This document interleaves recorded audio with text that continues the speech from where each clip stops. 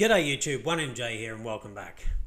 Well, market cap is down and a correction is obviously happening and I'm starting to think I may have uh, been a little bit too excited a little bit too early uh, and this possibly is going to go uh, a little bit lower than what I thought. So currently we're behind that 13,500 uh, and just really waiting to see exactly where it's going to find a bottom. You know, the election is upon us. I think some people are probably spooked, and so there's a bit of a sell off. But also, we've had a pretty good run over the last sort of couple of months.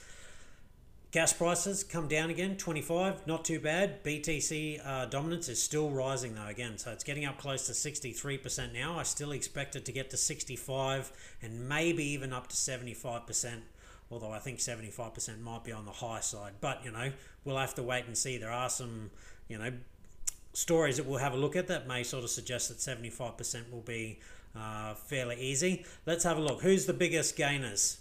No one really. Single digit gainers, uh, you know, anything's better than nothing, but really not a whole lot there.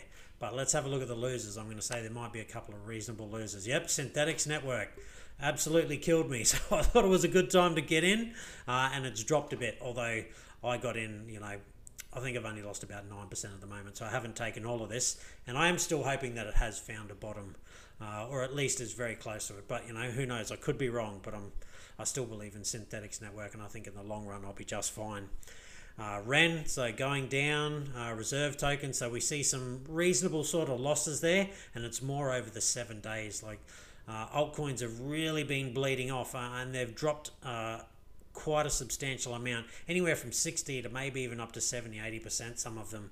And generally, that's the range where they will uh, drop. If they're going to have a heavy correction, it can be that uh, kind of you know area. But again, it could be anywhere between 65 to sort of 85. You know, it's unlikely that they're going to go to 90 plus percent unless the project is kind of dead and there's just really bad news. This is just your standard kind of, you know, correction in a cycle. So, you know, I'm hopeful and somewhat confident that Synthetix Network isn't going to drop too much lower. It, look, it could go a little bit lower, but uh, you know, a dollar thirty is kind of where I'm really going to be worried. If this gets down to a dollar thirty, uh, as long as it bounces from around a dollar thirty, I won't be too worried. But if it goes below a dollar thirty, then I will be uh, really worried for the Synthetix Network. Platform, but again, I don't think that's going to happen. Anyway, let's move on. Let's get to some of these uh, stories. And this is what makes me think that uh, 75% BTC dominance probably isn't uh, too out of the question. So, PayPal crypto services to go global early uh, in 2021.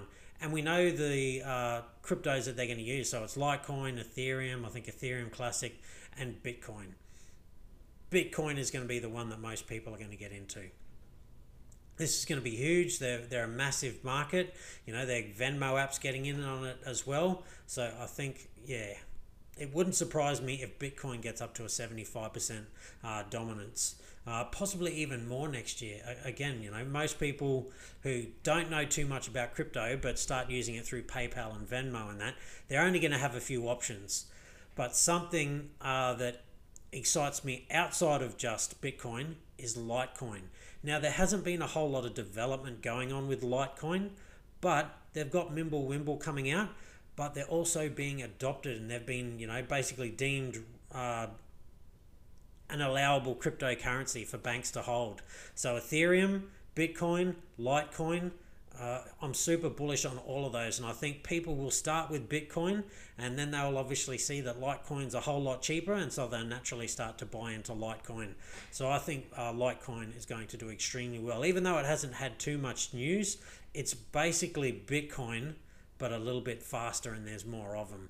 Not not quite, not exactly.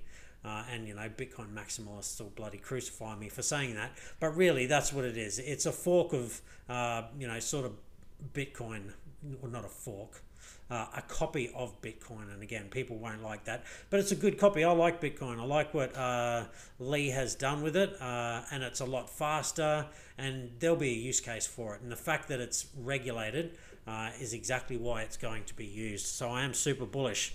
Uh, and yes, CBDCs, you know, they're going to be the, the mainstay. Everyone's going to get into uh, those. I'm not saying they're going to be great. They're basically just fiat in a digital version. They'll still have all the same problems, but they will be transferable uh, and things like that. So, you know, digital, an easier way to carry cash and things like that. But this is what makes me think that B, uh, Bitcoin could go to 75% dominance, maybe even higher.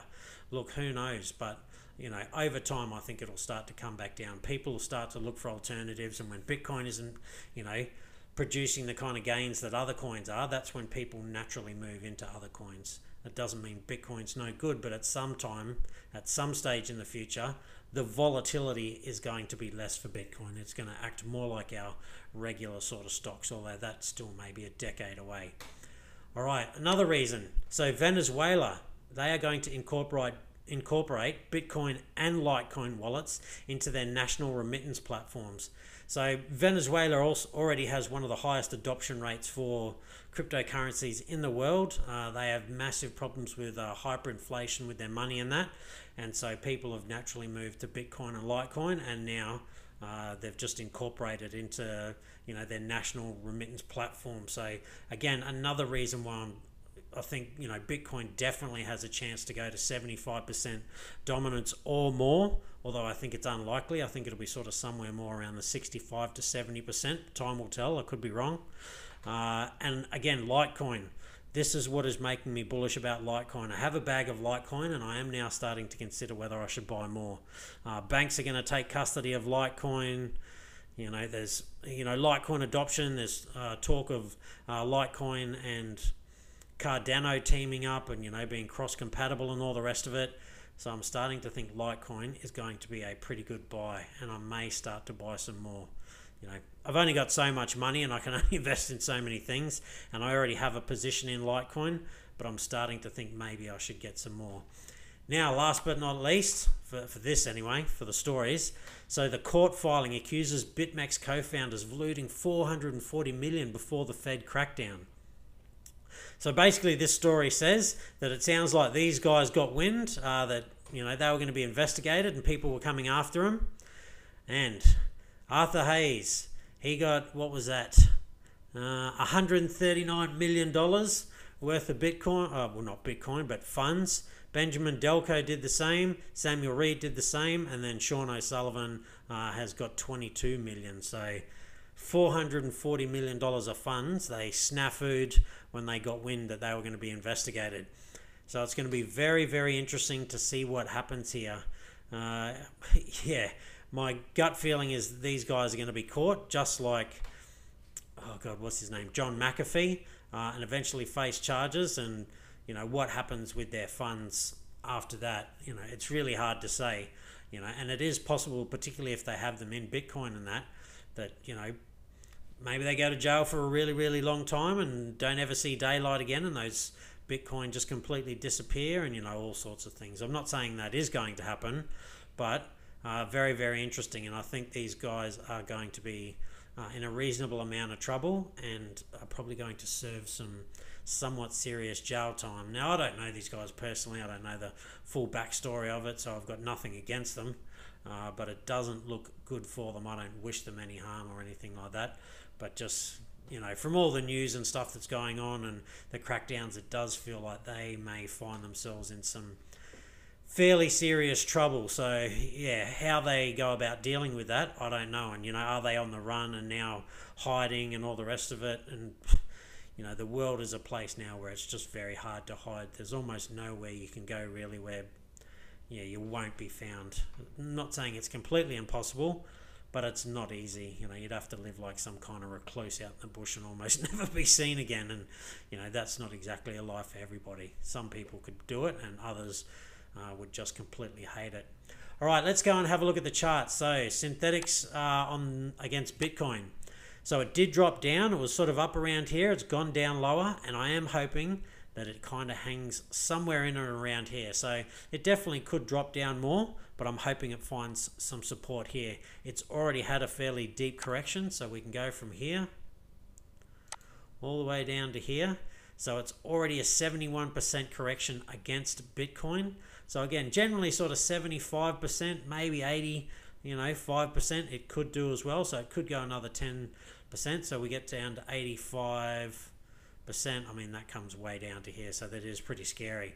Uh, I'm hoping that it doesn't do that, But look, anything's possible. If we have a look at it against the USD chart, we can see that uh, 75% retracement gets it down to around about a dollar a dollar 30 i was thinking it would find some support at $2.60 it's broken through but we'll just have to wait and see if it will hold and it may well bounce off here or it may go lower and again down to this 75% mark or sorry come down to here this is 85% basically right down here so around about a dollar 30 now that's really going to hurt uh, for me buying here at a dollar 30 but again, I think it won't be too big of an ask that at the peak of the next bull run, it doesn't make it back up to here and go beyond that. So again, I'm an investor. I don't worry about the short term stuff. I don't, you know, think that I can pick the market timings exactly. So I was just hoping uh, that this would be a bounce point. Bought a position, and look, I may be wrong, and then it comes down to around about sort of here, here, and then bounces. So be it if it bounces from here and then you know goes back up to you know eight dollars and then goes 10 20 dollars 30 dollars you know whatever it may be at the peak of the next bull run then it won't have mattered anyway. I don't have to time things exactly. Uh, i can just be thereabouts. And again you know i bought it sort of two dollars 60 if it goes down to a dollar 30 then you know i've lost you know a dollar thirty per coin uh, in the short term. But again, if it then goes from a dollar thirty up to ten dollars or you know whatever from two dollars sixty, I'll have five x my money if it gets to ten dollars and goes back. So I'm always thinking about the long term, not the short term. You know, I'm I'm not a day trader. I do a bit of swing trading, and that's what this was. I was thinking, all right, this is hopefully found its bottom uh, and is then going to find its way back up. And this really does feel like sort of capitulation right here. But look, I could be wrong, and maybe it goes to a dollar thirty. A dollar thirty is eighty-five percent, and then we go back to the Bitcoin. Eighty-five percent uh, again gets back down to here. We'll see.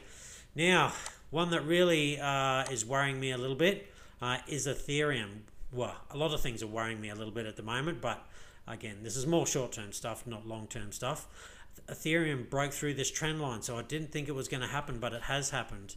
Now, the day is not over, it hasn't closed yet, it still could close above here, so this could be a bit of a fake out. We can see that wicks have gone down before, but I am somewhat concerned that this is going to roll over and then we're possibly going to come down to here around about the $240 mark. But again, at $240, it just means uh, a better chance to buy in cheaper. Now, the reason I think that this might happen is we go over to Bitcoin. Now, I'm on the monthly here. I'm not on the dailies and weeklies and all the rest of it. We can see that Bitcoin tested its old all-time high for candle closes. And true to uh, you know how it usually behaves, it's had a correction. So I am thinking that Bitcoin now may possibly come down uh, and re sort of test this $12,500 level. Not guaranteed. This still could change. This is a monthly, so it's very early in the month. It's the 3rd of November. You know, this could easily change. And there is a chance that once the election is done and dusted by the end of the week, and you know, there's talk of new stimulus packages and all the rest of it, that everything starts to shoot back up again. But you know, you have to anticipate that it could go lower as well. And so it wouldn't surprise me if it comes back down uh, and tests this $12,500 level. It's not uh, out of the realms. I just think it's more unlikely than it is likely. Now, the reason I think uh, it could come back uh, and test uh, this is just it is a su- uh, support level, but there is a possibility it may maybe comes back down and test this. So this would be pretty scary. Eleven thousand, sort of six hundred but that's what it does. You can see a lot of the times that it's uh, got to now candle closes. These candle closes are very close to this one, and these candle closes are very close to these ones over here. Not exact. It doesn't have to be exact, but they're just thereabouts. So uh, a lot of the time they, yeah, we'll find old support and resistance and that, and around about that area will again, you know, bounce from there, whether it's bouncing from the downside and going back up or bouncing from the upside and then going back down. So we can see here, uh, we hit this low and then it came up and basically hit old points of sort of support and resistance uh, and sold off. Came up here, very close to uh, some other key areas. So it had been here before, been here before over here, sold off, and then came up. And then again we get to here, and you know this was a spinning top, so it was undecided. These are always worrying when you see these. The market could go either way, and it sold off. So I just think it's quite possible that this sells off, comes down uh, and retests this mark, or maybe even more this mark. So 11,000 sort of 600, 11,700 dollars. Possible. Uh, I don't think it's likely. I think once the elections are done and dusted and there's more talk of stimulus, all markets are going to correct uh, and start to go back up. But look, I've been wrong before and I could be wrong again. Uh, time will tell. But again, whenever I get too worried about things, I you know look on the the longer term because the short term stuff that's really hard to pick. Longer term is a lot easier. This is what Bitcoin's done since 2000. This was 2011, so it obviously had a sell off. Uh, and it was, I can guarantee you, back in 2009, it was probably a lot lower than what it was there. It was uh, pennies worth, you know, just cents. So it was down here and traded up, sold off, traded up, sold off, traded up, had a bit of sell off. But that's what it does. It basically just has these run ups sells off. Has these run ups, sells off. Has these run ups, sells off. But it just keeps moving up in the longer term. So that's why I'm not too worried if it did come down and test this $11,500. Long term, it's still going to play out the same way. It's going to go up. It's just the short term that uh, is possibly going to hurt uh, people. But I've been in the game for a while, a few years now. I've never actually sold any crypto. I've never cashed out. Not that I have all that much crypto. I've got, you know, what I can afford. I'm definitely no millionaire. Uh, not even remotely close to that. Not even a quarter of a million dollars. That'd still be uh, an absolute miracle. I'm not even anywhere near that. So, you know, a long way off. But at the end of the next cycle, if I can, you know, have tr- uh, tripled my money or um, you know, even more, 5x, 10x my money, then I'll be sitting pretty uh, and, you know, I'll prepare myself for the next cycle. Uh, and again, I'm, I'm looking to, you know, take some of those profits and diversify. Uh, I like crypto. I'll continue to invest in crypto, but property is something I'd like to get into. Uh, and maybe even some arts. Uh, you know, you buy the right kind of uh, things in the art world, and over time, they obviously appreciate as well. But again, I don't know enough about art at the moment, but it's just something I'm thinking about looking into in the future. All right, I'm not going to take up any more of your time. Stay safe, be kind to one another. Pretty hard to be on that gain train at the moment, but long term, I'm sure we're all going to be fine. Personal advice, not financial advice. All right, I'll see you next time.